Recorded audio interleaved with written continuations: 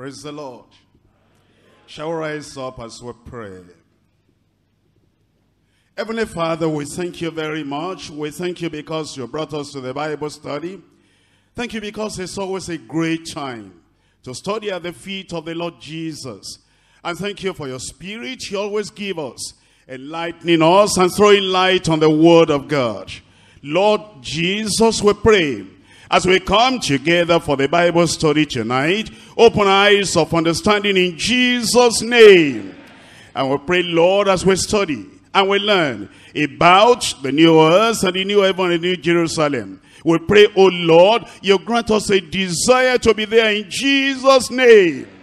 And we pray, Lord, anything within, without, around, above, beneath, that will drag us away from this glorious land Take it away from us in Jesus' name.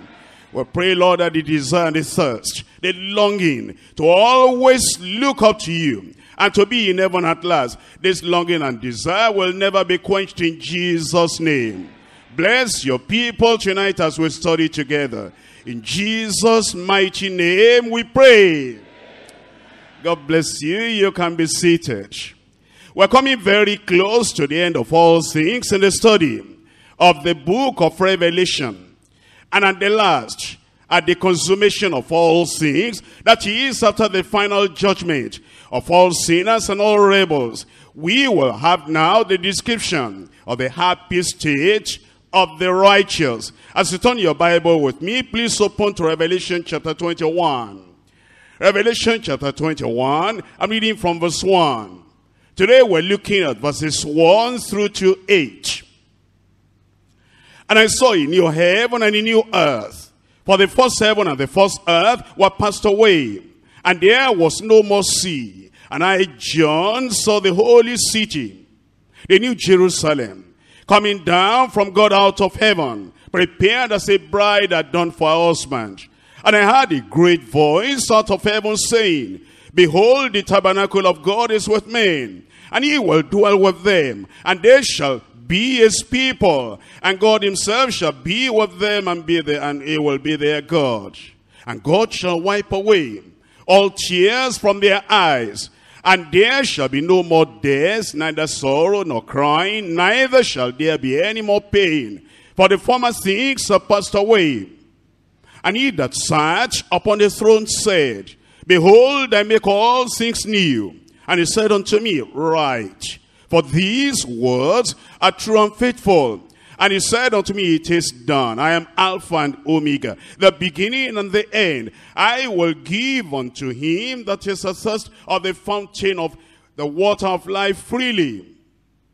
He that overcometh shall inherit all things, and I will be his God, and he shall be my son. But the fearful and unbelieving and the abominable, and the murderers, and all mongers and sorcerers and idolaters, and all liars shall have their part in the lake with burning with fire and brimstone, which is the second death. As we come to this passage today, I want to remind you, when we started in Revelation chapter 1, we saw the picture of the glorified Christ. And then in chapters 2 and 3, we have the story of the church. Actually, that's the church age, the period of the church. And then in chapters 4 and 5, you have the glory of the, of the Lamb of God and the glory of the Father himself sitting upon the throne. You see that rainbow around the throne and the thunders and the, and the lightnings coming out of the throne. What the voices did you hear about the singing and about the joy of the elders around the throne as they said blessing and glory and honor unto the Lamb and to the God of heaven, because he has redeemed us, and he has washed us white in his blood. And now we're before the Lord because of his salvation he has given unto us. But after chapter 5, then comes the great tribulation. And the period of the great tribulation is actually the period of judgment. Judgment upon the world. And if you see the first line in your outline, it says, at last, at the consummation of all things, after the final judgment of all sinners and all rebels. Now we have the description of the happy stage of the righteous. Before we go to this happy stage of the righteous, I want you to understand once again, first of all, there is the judgment of sinners. before there will be the joy and the jubilation of the saints. And as we talk about the judgment of sinners, we're talking about it in relation to the great tribulation. But please understand, number one, before the great tribulation, there was judgment. During the great tribulation, there will be, there will be judgment. And then after the great tribulation, there will be judgment. Before the great tribulation, what period is that? That's the church age, the period of the church. And we're told Revelation chapter 2, open your Bible with me, Revelation chapter 2, in verses 19, all through to 23. And when you're Revelation chapter 2, chapter 3, you're actually in the church age, the period of the church. And here is the time before the great tribulation. Revelation chapter 2, verse 19, I know thy works and charity and service, and faith, and thy patience, and thy works, and the last to be more than the first. Notwithstanding, I have a few things against thee, because thou sufferest that woman Jezebel, which calleth herself a prophetess, to teach and to seduce my servants, to commit fornication, and to eat things sacrificed unto idols. And I gave her space to repent of her fornication, and she repented not.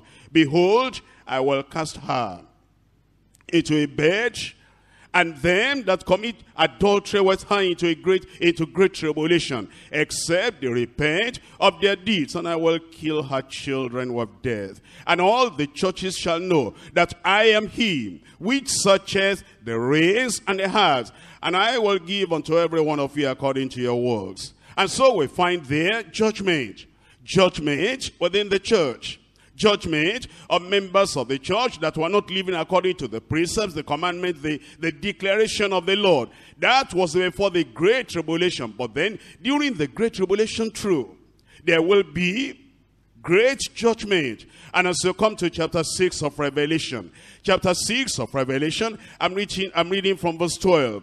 And I beheld when he had opened the sixth seal, and lo, and there was a great earthquake, and the sun became black as sackcloth of hair, and the moon became as blood, and the stars of heaven fell unto the earth, even as a fig tree casteth her untimely figs when she is shaken of a mighty wind.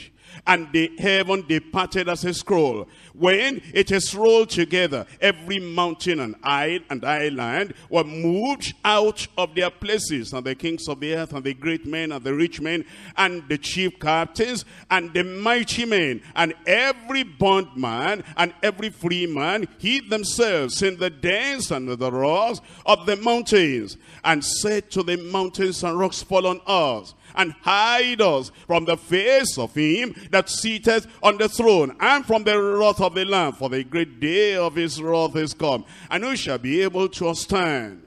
That was at the, that will be at the beginning of the great tribulation as the seals are open, then you have judgment coming upon the people of the earth at that time. And in fact, they say, this is the great day of the wrath of the Almighty God. And who shall be able to stand? And as the tribulation progresses, then you have a lot of calamities coming upon the people of the world at that time. All the people who do not have their names written in the book of life.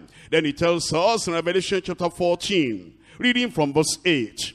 Revelation chapter 14 verse 8. And there followed another angel saying, Babylon is falling, is falling, that great city, because she made all nations drink of the wine of the wrath of her fornication.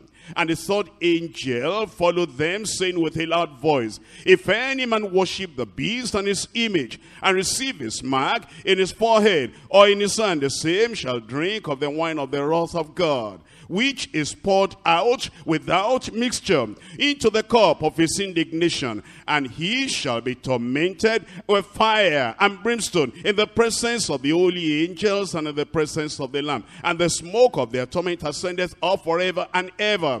And they have no rest, day nor night, who worship the beast and his image, and whosoever receiveth the mark of his name. And so you find that during the great tribulation, there will be judgment upon the people too. In Revelation chapter 18, I'm reading to you from verse 6. Revelation chapter 18. Reading from verse 6. Reward her even as she rewarded you. And double unto her, double according to her works. In the cup which she has filled, fill to her double. How much she has glorified herself and lived deliciously, delicately so much, so much torment and sorrow give her. For she has said in her heart, I sit as a queen, and I'm no widow, and shall see no sorrow. Therefore shall her plagues come in one day, death and mourning and famine and she shall be utterly burned to a fire. For strong is the Lord God who, has, who judges are. And then he tells us in verse 9, And the kings of the earth, who has committed fornication and lived deliciously, delicately with her, shall bewail her and lament her. For when they shall see the smoke of her burning standing afar off, for the fear of her torment, saying, Alas, alas, that great city Babylon, that mighty city, for in one hour is thy judgment come. And now eventually you come to the end of the Great Tribulation. And at the end of the Great Tribulation, now we have after the Great Tribulation, still judgment again. Revelation chapter 20, reading from verse 10. And the devil that deceived them was cast into the lake of fire and brimstone, where the beast and the false prophet are, and shall be tormented day and night forever and ever. And I saw a great white throne, and him that sat on it, from whose face the earth and the heaven fled away, and there was found no place for them. And I saw the dead, small and great, stand before God and the books were opened. And another book was opened, which is the book of life. And the dead were judged out of those sins which were written in the books according to their works. And the sick gave up the dead which were in it. And death and hell delivered up the dead which were in them. And they were judged every man according to their works. And so we find, number one, before the Great Tribulation, judgment. Number two, during the Great Tribulation, judgment. Number three, after the great tribulation, judgment. Now with the final judgment over.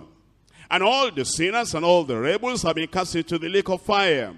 Now we have the description of the stage of the righteous, the saints, the redeemed of the Lord. Those who have been washed in the blood of the Lamb. These righteous want to forever live in the presence of the Almighty God. Here we come talking about the joy, the jubilation, and the jubilee of these people of God. We come now to Revelation chapter 21. And John is still following through as John is seeing the revelation the Lord is showing him. And I, John, and I saw a new heaven and a new earth. For the first heaven and the first earth were passed away. And there was no more sea. And I, John, saw the holy city New Jerusalem coming down out coming down from God out of heaven, prepared as a bride adorned for her husband. And I heard a great voice out of heaven saying, Behold, the tabernacle of God is with men, and he will dwell with them, and they shall be his people, and God himself shall be with them, and God shall be their God. He will be their God. Here we now have the revelation of what will happen on the final day. After the people of God, those who are washed in the blood of the Lamb, and those who have been born again with the evidence and the testimony of the Spirit of God in their hearts that they are the children of God and they're, they're new creatures in Christ. If any man be in Christ is a new creature.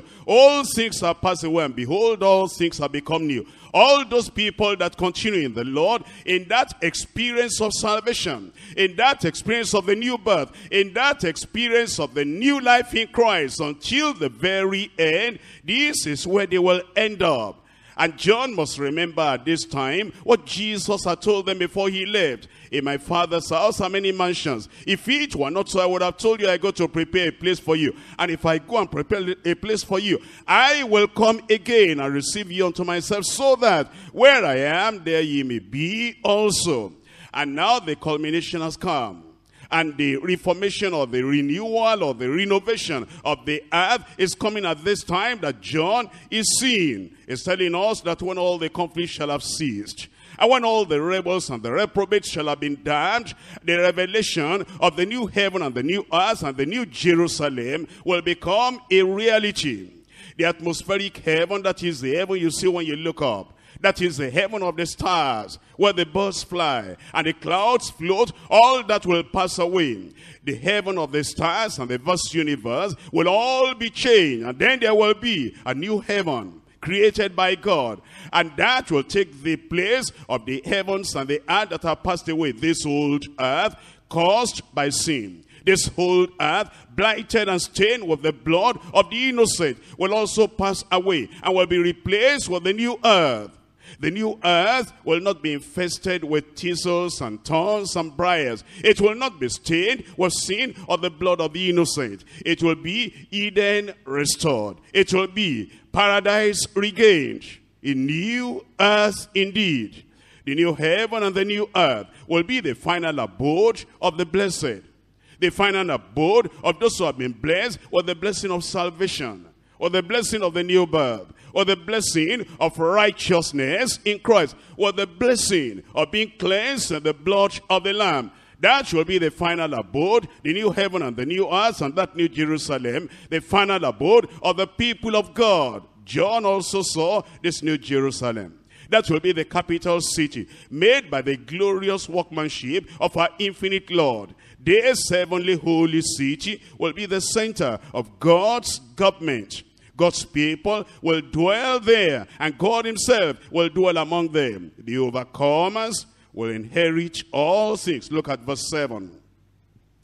In verse 7 it says, And he that overcometh shall inherit all things, and I will be his God, and he shall be my son. I pray you'll be there. We're looking at the study and we're going to go into in-depth study. We divide it into three parts. Number one, the glorious picture of the new Jerusalem. The glorious picture of the new Jerusalem. Number two, godly people in the new Jerusalem. Only godly people will be there. Unrighteous people will not be there. Ungodly people will not be there. Sinners will not be there. Rebels and reprobates will not be there. Backsliders who persist in their backsliding will not be there. But that new Jerusalem will be for godly people. Godly people in the new Jerusalem. Number three, graceless people, godless people, excluded from the new Jerusalem. We go to point number one. Glorious, the glorious picture of the new Jerusalem. Please come back to Revelation chapter 21. We're looking at verse 1 all through to verse 3. And I saw a new heaven and a new earth. For the first heaven and the first earth were passed away, and there was no more sea. And I, John, saw the holy city, New Jerusalem, coming down from God out of heaven, prepared as a bride adorned for her husband. And I heard a great voice out of heaven saying, Behold, the tabernacle of God is with men, and he will dwell with them, and they shall be his people, and God himself shall be with them and be their God. In what I've read to you, we'll see the picture of the new Jerusalem. We'll see the picture of that holy city, that heavenly city, where the people of God will be for all eternity. And John said, I saw it. It's a new heaven and it's a new earth. And I saw that holy city, New Jerusalem. And it's coming from the very presence of God. A great transformation will take place. A great renovation will take place. And the new heaven the new earth will totally, completely, forever be new. Because the first heaven, according to what we read here, and the first earth will, be, will pass away. That means the present universe, that is the earth, the globe, everything that you see, the land and the sea. And then when you look up, the stars and the clouds and everything, they will all be rolled up and removed and changed, recreated, renovated. There'll be a renovated universe to take the place of the one that's gone. How do we describe this? As we look at this Revelation chapter 21, look at verse 1, it says, And I saw a new earth and a new heaven, and the first heaven and the first earth were passed away. Then it tells you what will not be there. It says there, there was no more sea. In the earth in which we're living now, the seas and the oceans occupy about three quarters of the surface of the globe, limiting the number of inhabitants on earth. But in the new heaven, in the new earth, there'll be no more sea. everywhere will be habitable. And all the righteous will enjoy a perfect state, and there will be perfect perpetual intimacy with the Almighty God throughout eternity. Not only that, look at verse 22. And I saw no temple there. It tells us there'll be no sanctuary there. For the Lord God Almighty and the Lamb are the temple of it. Then in verse 23 it says, And the sea had no need of the sun, neither of the moon, nor to shine in it. For the glory of God in light in it, and the lamp is the light thereof. And then in verse 4, you come back to verse 4, it says, And God shall wipe away all tears from their eyes, and there shall be no more death, neither sorrow nor crying, neither shall there be any more pain, for the former things are passed away. And then in verse 27, And there shall be no in no wise. There shall no wise enter into it anything that defileth, neither whatsoever worketh abomination, nor maketh a lie, but they which are written in the Lamb's book of life. Come back to verse 3. And I heard a great voice out of heaven saying, Behold, the tabernacle of God is with men, and he will dwell with them, and they shall be his people, and God shall be with them and be their God. There will be no separation from God. We'll be with God all throughout eternity. Let me summarize all those verses I've read to you. Number one, there will be no sea. Number two, there will be no sanctuary. Number three, there will be no sun, neither moon also. Number four, there will be no sickness. There will be no pain. There will be no death. Number five, there will be no sorrow or sadness. Number six, there will be no sin that will enter there. Nothing defiling will ever enter that New Jerusalem. Number seven, there will be no separation. Now, number eight, there will be no sinner there. No separation from God for the people that are godly, for the people that are righteous, for the people who have been washed in the blood of the Lamb. And there will be no sinners there. And thank God Satan will not be there also. Give me a good amen. And so we learned about this glorious picture of the New Jerusalem. And actually, we need to understand it wasn't just John alone that saw this. There have been prophets and priests and people in the Old Testament as well as in the New Testament that saw this far ahead of time. And they knew that the time will come when the sinners will be judged. And then the people of God, they'll go into this that has been called paradise or has been called uh, the Eden restored or has been called the very abode of the Almighty God, has been called the holy city or the holy hill where the children of God, the people of God will be all throughout eternity. Uh, let's look at the revelation of the word of God. Isaiah chapter 65 in Isaiah chapter 65. I'm reading from verse 17. Isaiah 65 verse 17. For behold, I create new heavens and a new earth. And the, form, and the former shall not be remembered, nor come into mind. That's why I told you it wasn't just John alone that saw this. The prophets before him had seen this. The servants of God before him had seen this. And the Lord had opened their eyes to see that a time will be coming when the present earth will be rolled up, folded up, and then will be disposed of. There will be a new heaven and a new earth. Then we're told in verse 18, but be ye glad and rejoice forever in that which I create. For behold, I create Jerusalem a rejoicing, and her people a joy. And I will rejoice in Jerusalem and joy in my people. And the voice of weeping shall no more be heard in her, nor the voice of crying. Exactly what we're reading in the book of Revelation. Only that John saw it now, painted before him, coming down before him. Jerusalem, the new Jerusalem coming from heaven. In Isaiah chapter 66, verse 22. Isaiah chapter 66, I'm reading from verse 22. For as the new heavens and the new earth, which I make, which I will make, shall remain before me, says the Lord. So shall your seed and your name remain. The Lord was telling the children of Israel that the new heaven was coming. And the new earth will be coming to you. That should be the New Jerusalem. And it will remain forever with him. That when this old earth is folded up and thrown away and destroyed, but the new earth will remain forever because that will be the abode of the people of God, the children of God. In Second Peter chapter 3, I'm reading from verse 13. Second Peter chapter 3, we're reading from verse 13. Let's go back to verse 10. But the day of the Lord will come as a thief in the night in the which the heavens shall pass away with a great noise, and the elements shall melt with fervent heat. The earth also and the works that are therein shall be burnt up. This old earth, everything will be burnt up. The property you see there, and the things you see there, and the things that the people of the world are dying for all those things will be burnt up. He tells us in verse 11, he says, Seeing then that all these things shall be dissolved, what manner of persons ought he to be in all holy conversation and godliness, looking for and hasting until the coming of the day of God, wherein the heavens being on fire shall be dissolved and the elements shall melt with fervent heat. When it says the heavens been on fire, it's talking about what we have talked about. That is the starry sky that he is the sky that you see and the stars. And that means that all the clouds, everything will be folded up. And the elements shall melt with fervent heat. That means the element of the earth. Then in verse 13, nevertheless, we according to his promise look for new heavens and a new earth, wherein dwelleth righteousness. Wherefore, beloved, seeing that ye look for such things,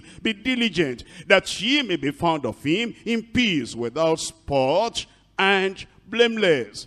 As you read all over the scriptures, whether you're reading the Old Testament or you're reading the New Testament, the revelation of the Word of God is very clear that this old earth will be burnt up. God will get rid of this, fold it up, dispose of it, and it will not be any longer. But then you have the new heavens and the new earth and there'll be righteousness there. And only the righteous, the saints of God, those who are saved and sanctified, watch in the blood of the Lamb. Those are the people that are going to be there. And Peter then gives us a watch of counsel, a watch of encouragement, saying, see that this is the promise we're looking for. How we ought to make ourselves ready. If you are not new, you cannot be in the New Jerusalem. If your mind is not renewed, if your heart is not renewed, if your life is not renewed, if your marriage is not renewed, if your relationship is not renewed, if you're not a new creature in Christ, nothing old of the old nature of the sinful nature, of the polluted nature, of the carnal nature, will be allowed to dwell in that new Jerusalem. But the people who are new and renewed by the blood of the Lamb, those are the people that are going to be there. That's why Peter is telling us, by the inspiration of the Spirit of God, it says, we, according to his promise, we're looking for the new heavens and the new earth, wherein dwelleth righteousness. Then it says, wherefore, because of that, beloved, seeing that you are looking for such things, be diligent, not careless, not haphazardly, not taking the things of God with loose hand, not taking your salvation, your holiness or sanctification with careless hands, but diligently, be diligent, that ye may be found of him in peace, without spot and blameless. Uh, we read in Revelation chapter 21. Let me go back there again and, and make you see what we're talking about. And it's in verse 1. Revelation chapter 21 verse 1. And I saw a new heaven and a new earth. For the first heaven and the first earth were passed away. For the first heaven and the first earth were passed away. Let me remind you once again that that wasn't anything new. The first heaven, the first earth passing away. If you look at Psalm 102, Psalm 102, from far back in the Old Testament, the people had been told, all that you see now, all the things that are tangible, all the things you're looking at, everything will eventually pass away. Psalm 102 verse 25 of old has thou laid the foundation of the earth, and the heavens are the work of thy hand. They shall perish. That's it right there. The earth and the heavens, they, they shall perish. But thou endurest, but thou shalt endure. Yea, all of them shall wax old like a garment, and as a vesture shalt thou change them. and they shall be changed, but thou art the same, and the years shall have no end. It tells us very clearly then that the earth you see now, the earth you stand upon now, and the earth upon which many people labor, and that's the only thing they labor for, that everything is going to pass away. We're looking at Hebrews chapter 1. Hebrews chapter 1, reading from verse 10. Hebrews chapter 1, verse 10. And thou, Lord, in the beginning, hast laid the foundation of the earth, and the heavens are the works of thine hands. They shall perish, but thou remainest, and they all shall wax old as doth a garment. Verse 12. And as a vesture shall thou fold them up, and it shall be changed, but thou art the same, and the years shall not fail. Here we learn then that what we see in everything you see, everything will pass away. But then we're told there's something else coming. And let's come back to Revelation chapter 21. In Revelation chapter 21, it tells us, And I, John, saw the holy city, the new Jerusalem, coming down out from God, out of heaven, prepared as a bride, adorned for husband. And I had a great voice out of heaven saying, Behold, the tabernacle of God is with men and he will dwell with them, and they shall be his people, and God shall be with them, and will and be their God. Revelation chapter 3, verse 12. Revelation chapter 3, verse 12. Him that overcometh will I make a pillar in the temple of my God, and he shall go no more out. And I will write upon him the name of my God, and the name of the city of my God, which is New Jerusalem, which cometh now out of heaven from, from my God. And I will write upon him my new name. Do you see the anticipation of the people of God? Christ has spoken about it at the time of the church age. Because when you are in chapter 3, chapter 2 of, of Revelation, you are in the church age. At the time of the church age, the Lord has spoken about it. You keep on overcoming. Overcome temptation. Overcome sin. Overcome the world. Overcome your own passion. Overcome your own carnality. Overcome the suggestions of the devil to you overcome the tendency to backslide. And when you overcome, the Lord Jesus said, I'll make you a pillar in the temple of my God. And then you will not go out anymore. And it says, I will write upon you my new name, and the name of the new city of my God, which is New Jerusalem, coming out from God, coming out from my God. And you go back to the Psalms, Psalms 48 in Psalm 48, talking about Jerusalem, the new Jerusalem, that goes beyond the Jerusalem on earth that you have seen, that the people of Israel were living in, in uh, Psalms 48, verse, 4, verse 1. Great is the Lord and greatly to be praised in the city of our God in the mountain of his holiness. Beautiful for situation. The joy of the whole earth is Mount Zion. On the sides of the north, the city of the great king, God is known in her palaces for a refuge. And that's what uh, uh, the patriarchs of old, the people of old, the prophets of old, they looked ahead, they looked far ahead, and they saw that a new city will be coming. And that will be a city built by Almighty God himself. That's why they endured their temptations.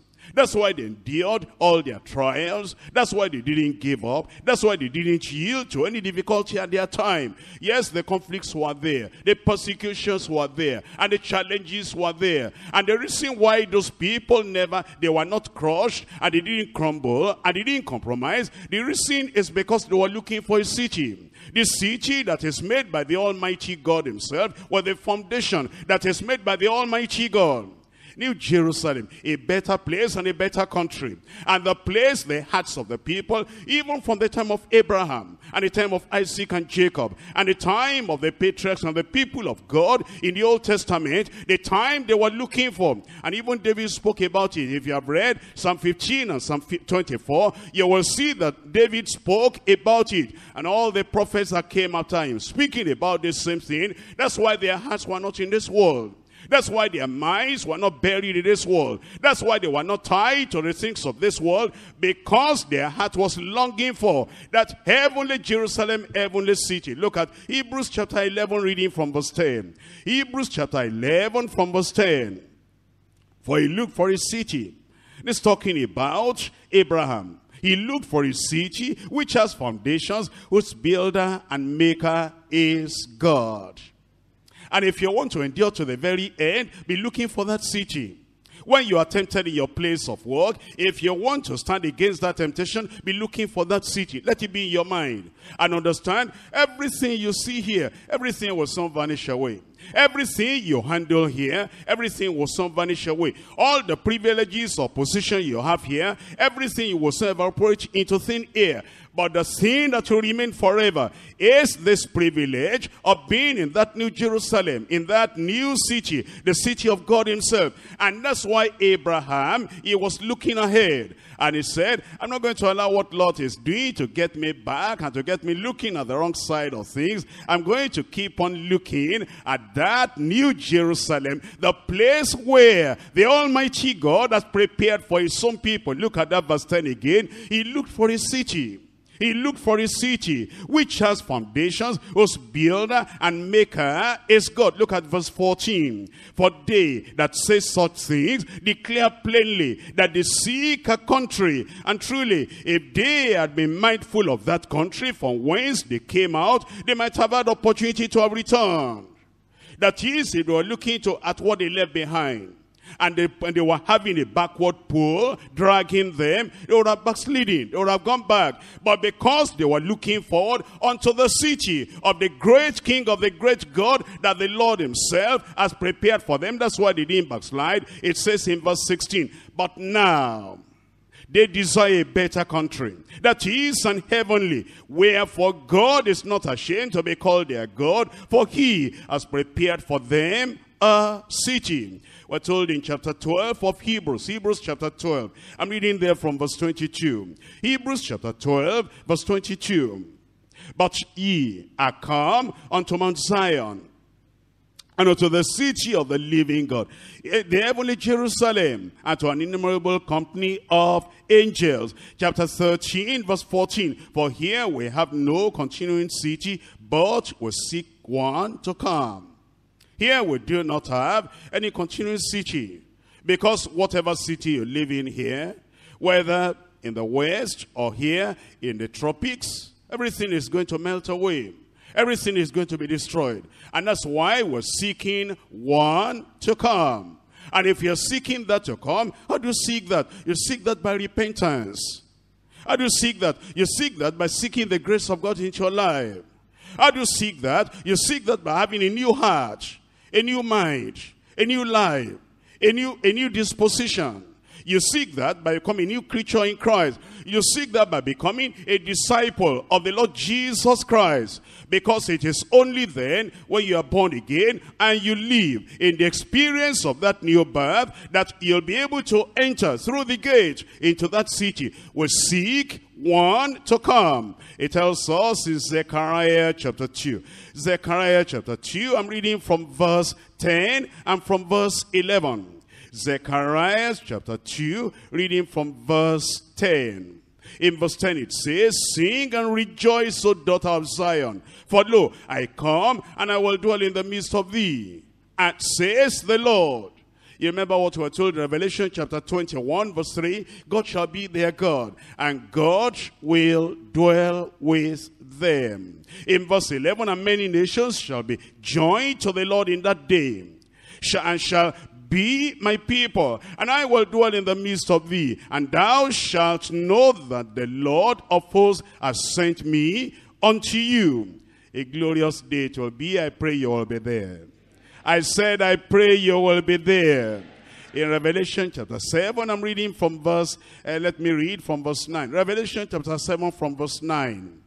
And after this I beheld, and lo, a great multitude, which no man could number, of all nations and kindreds and people and tongues, and stood before the throne and before the Lamb, clothed with white robes, and palms in their hands, and cried with a loud voice, saying, Salvation to our God, which sitteth upon the throne, and unto the Lamb. And all the angels stood round about the throne. And about the elders and the four beasts, and fell before the throne on their faces and worshipped God, saying, Amen. Blessing and glory and wisdom and thanksgiving and honor and power and might be unto our God forever and ever. Everybody said, Amen.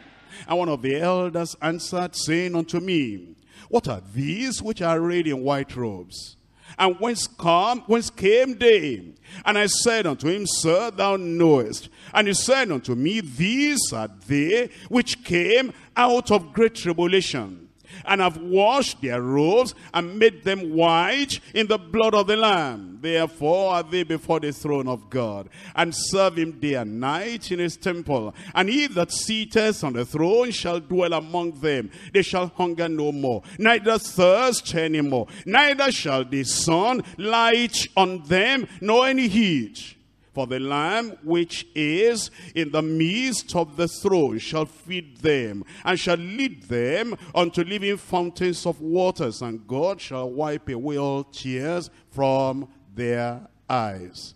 That's what is coming to the people of God, and those who overcome sin, overcome self, overcome carnality, overcome the world, overcome Satan, overcome every opposition to the Christian life. Those are the people that will live there. And that's why we're coming to the Bible study. So that by the grace of God, in the strength of the Lord, by the cleansing of the blood of the Lamb, and by your yieldedness and commitment unto the Lord, you'll be there in Jesus' name. We come to point number two, godly people in the New Jerusalem. The question is, who are the people that will be there on that final day? If you look at it from chapter 21, verse 4, chapter 21, verse 4, and God shall wipe away all tears from, the, from their eyes, and there shall be no more death, neither sorrow nor crying, neither shall there be any more pain, for the former things are passed away. And he that sat upon the throne said, Behold, I make all things new. And he said unto me, Write, for these words are true and faithful. And he said unto me, It is done. I am Alpha and Omega, the beginning and the end. I will give unto him that is thirst of the fountain of the water of life freely. Look at verse 7. Very important. He that overcometh shall inherit all things. What does that mean, all things? Shall inherit the new earth, all things, and the new heavens, all things, and the new Jerusalem, all things, and inheritance of the saints in heaven, all things. He that overcometh shall inherit all things, and I will be his God, and he shall be my son. Only the overcomers will have the privilege of living eternally in the new Jerusalem. That's not what we have read already. He that overcometh shall inherit all things, and I will be his God, and he shall be my son. These are the believers through God's grace, and who through faith in Christ overcome. What do they overcome? It's there right there on your outline. Number one, they overcome sin. Number two, they overcome temptations, all their temptations. Number three, they overcome evil. Number four, they overcome persecution. Number five, they overcome false prophets. Number six, they overcome the world. Number seven, they overcome Satan. And please have all that in your mind. And when temptation comes to you, in your place of work, in the marketplace, or in your home, or anywhere you find yourself, or in your business, when temptation comes to you, understand, the devil wants to take heaven away from you because the condition of getting to that new city, that heavenly city, that new Jerusalem is overcome. And if you're always yielding to temptation, always giving yourself to temptation, always being in the way of temptation, always being conquered and crushed by temptation, then you are not an overcomer. And should the trumpet sound anytime, if the Lord does not find you an overcomer, you'll not be able to inherit that heaven. That new Jerusalem, the new heaven and the new earth. Look at them one by one, what we're supposed to overcome. If we're going to be in that place, finally, uh, number one is sin. Look at Second Peter chapter 2. Second Peter chapter 2, we're reading from verse 19. In 2 Peter chapter 2 verse 19, while they promise them liberty, they themselves are the servants of corruption. For of whom a man is overcome, of the same is he brought into bondage. If sin overcomes you, you come into the bondage of sin. That's what it says in verse 19. Of whom a man is overcome, of the same is he brought into bondage. For if after they have escaped the pollutions of the world through the knowledge of the Lord and Savior Jesus Christ, they are again entangled therein and overcome the pollutions of the world that you escaped before, that you overcame before, that you were cleansed from, that you were set free from. If you are again entangled therein and you are overcome, the latter end is worse with them than the beginning. For it had been better for them not to have known the way of righteousness than after they have no need to turn from the holy commandment delivered unto them. But it is happened unto them. According to the true proverb, the dog is turned to his vomit, to his own vomit again. And so the swine, the pig that was washed to wallowing in the mire. If you allow sin to overcome you, and you remain conquered by that sin until Christ comes, you'll miss the rapture. We're told in Romans chapter 6, reading from verse 12. Romans chapter 6. And I'm reading from verse 12. Here we learn, let not sin therefore reign in your mortal body. Don't let sin overcome you. Don't let sin conquer you. Don't let sin overpower you the temptation will come. It might come as a strong urge. Do it. That's what the devil will say. And your flesh might be pushing you. Do it. And your brain that has been corrupted, influenced by the devil, might be pushing you. Do it. If you go into it, to overcome by sin. But let not sin reign in your mortal body that ye should obey it in the lust thereof. Neither yield your members as instruments of unrighteousness or sin, but yield yourself unto God as those that are alive from the dead, and your members as instruments of righteousness unto God. For sin shall not have dominion over you. So number one, we overcome sin. Number two, we overcome temptations. Overcome temptations. Revelation chapter 2. I'm reading to you from verse 26. Revelation chapter 2, reading from verse 26. And, and he that overcometh and keepeth my works unto the end, to him I will give power over the nations. And you understand this was written to those members of the church in Thyatira.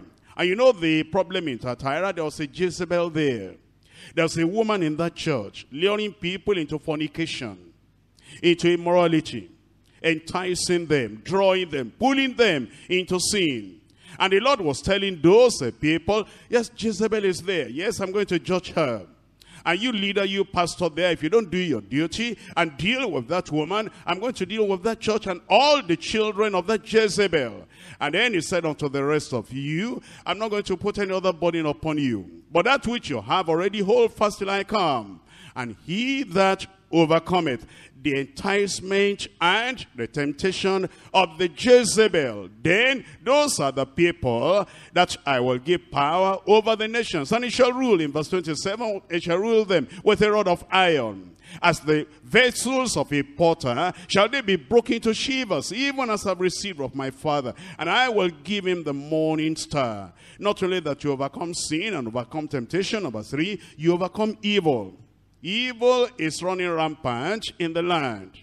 And the examples of people might want to lure you into practicing the evil with them. But if you're going to get to heaven, you would overcome evil. In Romans chapter 12, Romans chapter 12, we're looking at it from verse 17. Romans chapter 12, reading from verse 17. Recompense to no man evil for evil. What a challenge. In the place where you live, there'll be unbelievers. They don't know any better. They can only do evil. Recompense to no man, evil for evil. In the place where you are walking, there's some people, they don't know any better. They only practice evil. Recompense to no man, evil for evil. And among the people that are not born again, you meet them everywhere. And they are bent on doing evil. But make sure they, they, don't want to, they don't want to go to heaven. They don't even know about heaven. All they know is about this earth that is going to be rolled up and destroyed. But you know about heaven. You know about the new earth. You know about the New Jerusalem. You know about that holy city. You know about the place that the Heavenly Father is preparing for his son. You know about that better country, what Jesus said, I go to prepare a place for you. They don't know any better. And because they don't know any better, they will do evil. But you don't do the evil with them. Recompense to no man, evil for evil. That verse 17 says, provide things honest in the sight of all men. And if it be possible as much as it lies in you, live peaceably with all men. That's going to be a great challenge. Because the people in your community, they are for war, they are for fighting, they are for hatred, they are for tearing things apart. And if you don't remember heaven, you're going to say, ah, you want to tear it apart? We're going to tear it apart. If you can do that, I can do it. You know you can't do it if you want to go to heaven. That you will not recompense, you'll not pay them back in their coin. You live peaceably with all men, dearly beloved, avenge not yourselves, but rather give place unto wrath. For it is written, vengeance is mine, I will repay, says the Lord. Therefore, if an enemy hunger, feed him. If he thirst, give him drink. For in so doing, thou shalt heap close coals of fire upon his head. Be not overcome of evil, but overcome evil with good. You want to get to heaven? You want to have this place we're studying about to be yours. Be not overcome of evil, but overcome evil with good. Number four, we overcome persecution. Revelation chapter 2 verse 10. In Revelation chapter 2 verse 10, it tells us very clearly here, it says, fear none of those things which thou shalt suffer. Behold, the devil shall cast some of you into prison, that ye may be tried, and that ye may have tribulation ten days, but be thou faithful unto death, and I will give thee a crown of life. Overcome those persecutions. Don't be afraid. Persecutors will always be there, but don't be afraid of them. You'll overcome in Jesus' name. Then number five, we overcome false prophets. First John chapter 4. In First John chapter 4, we're reading from verse 3. First John chapter 4 verse 3. And every spirit that confesses not that Jesus Christ is come in the flesh is not of God. And this is that spirit of the Antichrist, whereof ye have heard that it shall come. And even now already is it in the world. Ye have God, little children and have overcome them. Overcome them. Those false prophets with their false doctrine with their invitation to you. Don't go. Don't, don't yield to them. Overcome them. Overcome the false prophets. Then number six, you overcome the world. First John chapter 5. In First John chapter 5 verse 4. For whatsoever is born of God overcometh the world. And this is the victory that overcometh the world, even our faith. Who is he that overcometh the world? But he that believeth that Jesus is the Son of God. And then we're also to overcome Satan. First John chapter 2. We're reading from verse 13. I write unto you, fathers, because ye have known him that is from the beginning. I write unto you, young men, because ye have overcome the wicked one. Overcome the wicked one. And then we're told in verse 14, I've written unto you, fathers, because ye have known him that is from the beginning. I've written unto you, young men, because ye are strong, and the word of God abideth in you, and ye have overcome the wicked one. If you're going to inherit that thing that is being prepared now, the holy city, the new Jerusalem, the heavenly Jerusalem. If you're going to inherit that, you're going to be an overcomer. We're told in First John chapter 5 verse 18. First John chapter 5 verse 18. We know that whosoever is born of God sinneth not. But he that is begotten of God keepeth himself, and that wicked one touches him not. Let's come back to Revelation chapter 21. In Revelation chapter 21, it tells us when we eventually inherit that new heaven and the new earth, And when we eventually overcome the last temptation, the last conflict, the last enemy, the last persecution, and the last challenge that the devil may throw upon us. When we eventually overcome, then we're going to get to that new Jerusalem, and we're going to inherit all things, and then what will be our experience when we get there? Look at chapter 21 of Revelation verse 4. And God shall wipe away all tears from their eyes. Are you weeping today because there's difficulty at home? A difficult husband? A difficult wife? or a difficult uh, employer, or difficult employees, or difficult neighbors, and it appears they're making life terrible and tough and hard for you, don't worry, it will soon come to an end. Because when we eventually get there, God shall wipe away all tears from your eyes in Jesus' name. And there shall be no more death, neither sorrow, nor crying, neither shall there be any more pain, for the former things are passed away. And he that sat upon the throne said, Behold, I make all things new. And he said unto me, Write it down, write. For these words are true and faithful. And let's look at Isaiah chapter 25, verse 8. Isaiah chapter 25. We're looking at verse 8. He will swallow up death in victory. And the Lord God will wipe away tears from off all faces.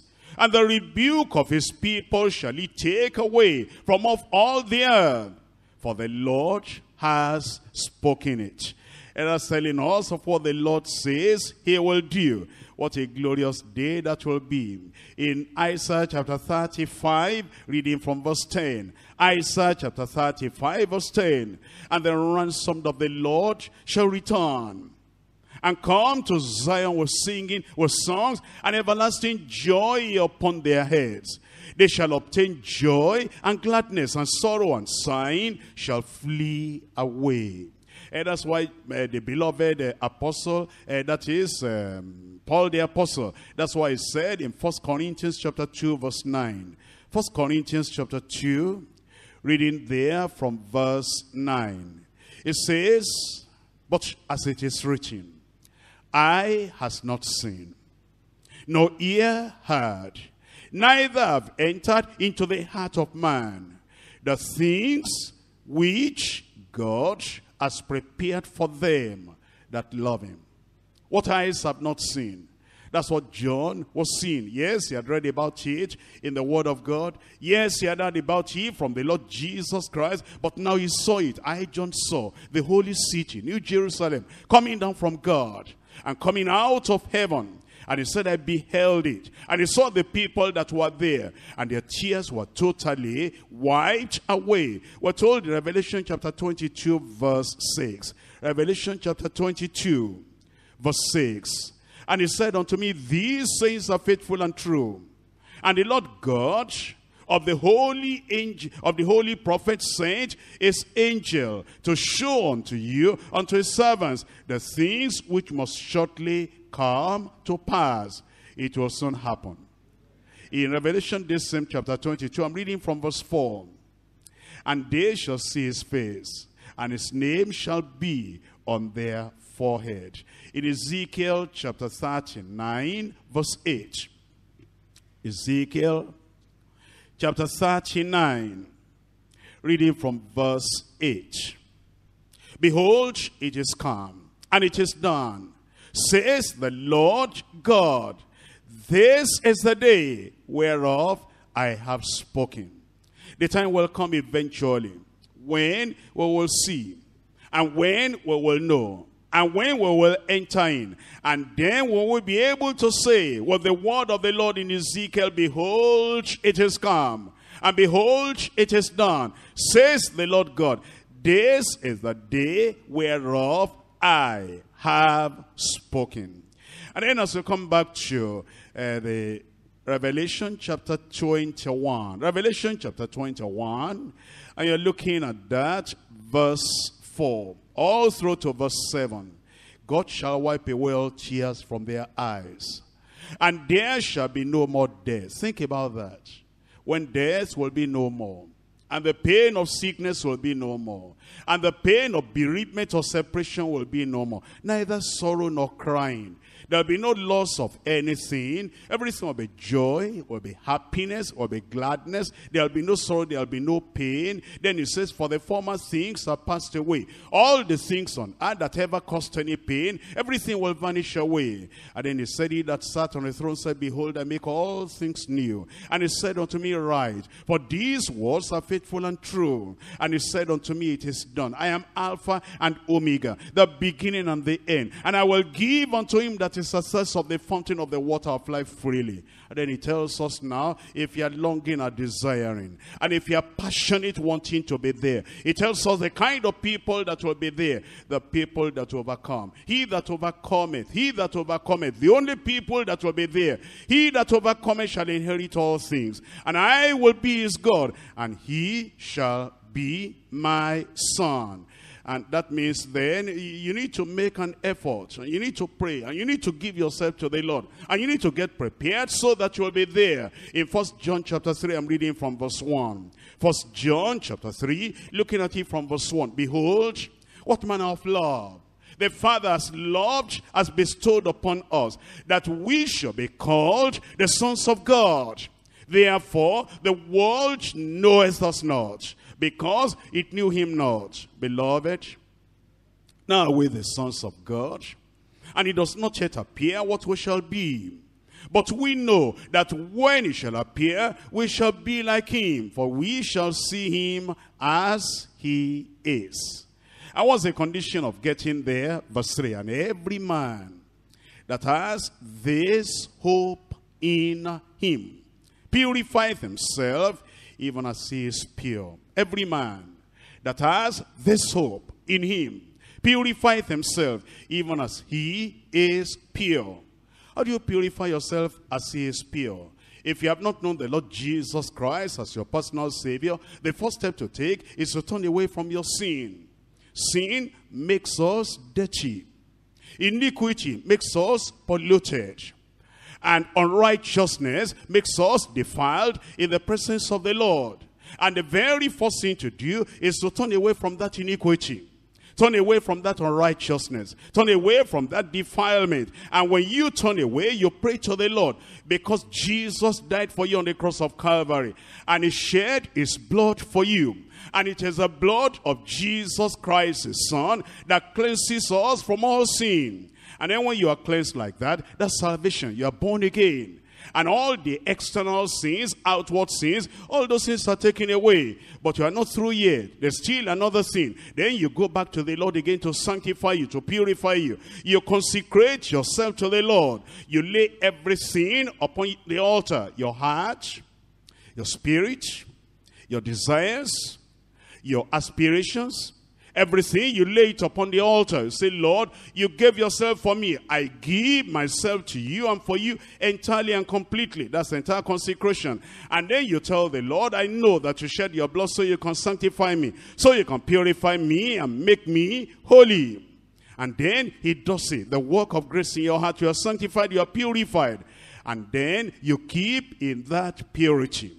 You keep in that sanctification. And if other people are doing something sinful um, you know, around you, and they want you to come and be a partaker with them of their sins, say, no, I have a place I'm going. And in that place I'm going, sin will not be allowed there. I want to keep myself pure. Put your finger in First John chapter 3 and come to First Timothy chapter 5. First Timothy chapter 5, we're looking at verse 22. Lay hands suddenly on no man what that means is don't appoint anybody suddenly to spiritual responsibility. So you don't become a partaker of their evil. Neither be partaker of other men's sins. There are people that will not stop sinning. And they may invite you to cooperate with them and to assist them or to uh, join them in doing their evil. Neither be partaker of other men's sins. Keep thyself pure. That's what it will take. In First John chapter 3 verse 3, and every man that has this hope in him purifieth himself even as he is pure. Even as he is pure. And when that day will come, if you keep yourself in the love of God and the grace of God, on that final day, you'll be among the people of God that will be in the New Jerusalem. We come to Revelation chapter 21 and we're looking at verse 8. Revelation chapter 21, verse 8.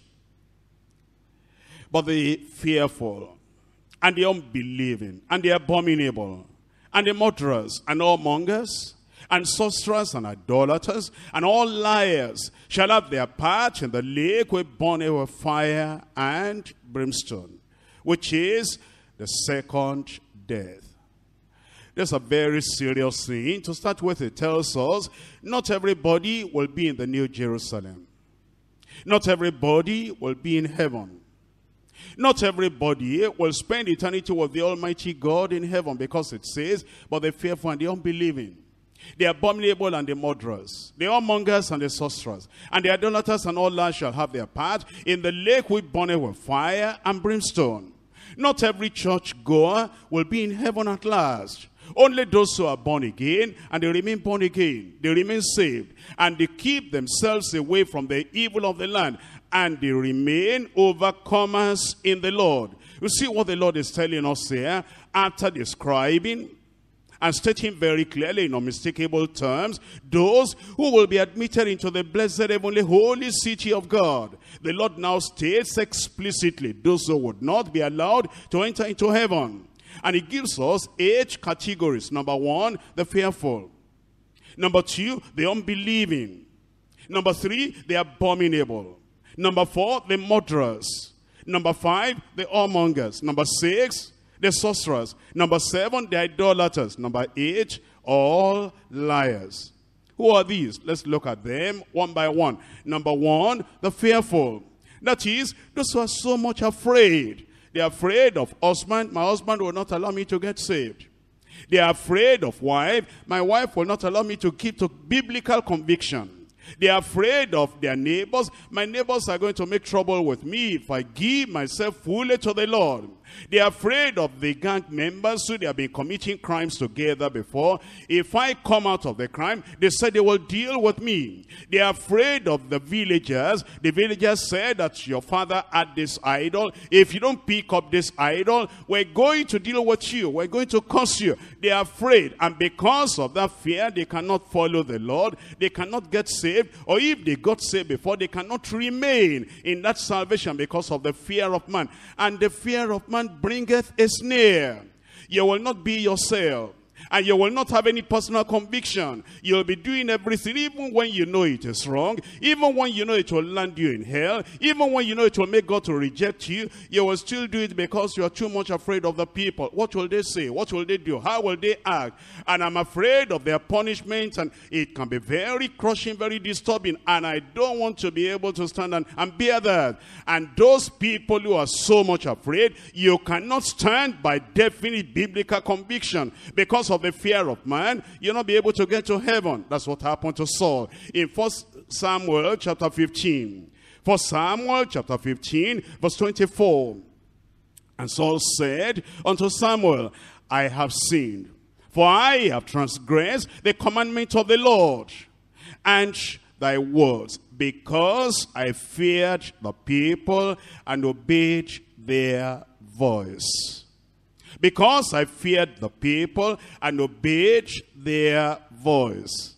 He was a king, but he was not an independent man. He was a king, but he was not a confident man. He was a king, but he was not a self-reliant man. He was a king, but he wasn't a king of decision. He couldn't stand. He didn't have the boldness or the conviction to stand by what he knew to be right. I feared the people. And because I feared the people, that is why I did something that I knew I shouldn't have done.